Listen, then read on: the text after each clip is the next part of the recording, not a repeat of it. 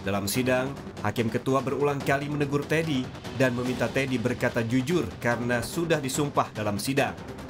Hakim juga mengingatkan Teddy untuk menjaga perkataannya saat persidangan.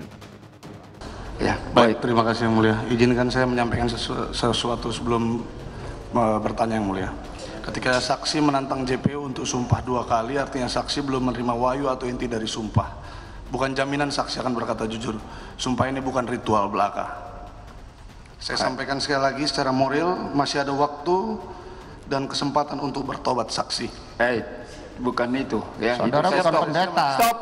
Baik, Majelis. Saksi, saya kan sudah stop. Kalau saya sudah masuk, semuanya harus tahan diri, ya. Teddy didakwa bekerja sama dengan Dodi, Syamsul Ma'arif, dan Linda untuk menawarkan, membeli, menjual, dan menjadi perantara penyebaran narkotika. Narkoba yang dijual adalah hasil selundupan barang sitaan.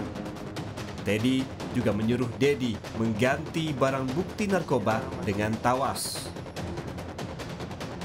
Tim Liputan, Kompas TV.